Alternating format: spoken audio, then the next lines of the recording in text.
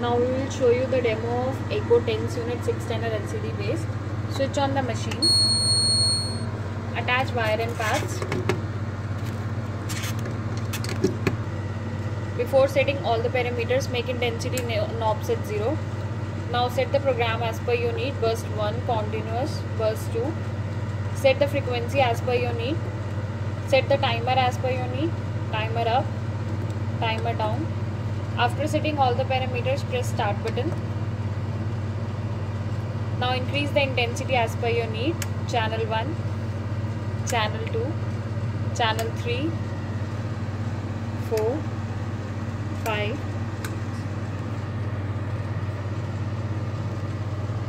After it after treatment is completed, make intensity knobs at 0. Now press stop button. Switch off the machine.